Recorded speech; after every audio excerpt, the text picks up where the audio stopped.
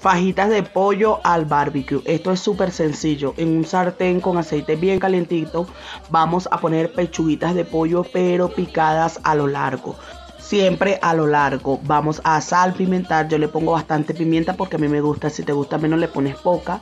Ponle una cucharada de mostaza condimentado con esto vamos a dejar que se dore por todos sus lados cuando esté doradito le ponemos cebolla y tomate en juliana.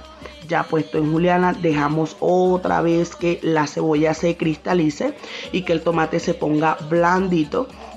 Agregamos dos cucharadas de salsa barbecue y solo una de salsa o pasta de tomate en su defecto. Si no tienes salsa barbecue, la salsa barbacoa también le queda perfecta en su defecto. Rectificas sal si crees que necesita y dejas cocer por unos 3 a 5 minutos. Listo. Puedes acompañar con arroz, con tacos con lo que quieras, con pampita, con lo que desees. Es una receta súper fácil, sencilla y deliciosa.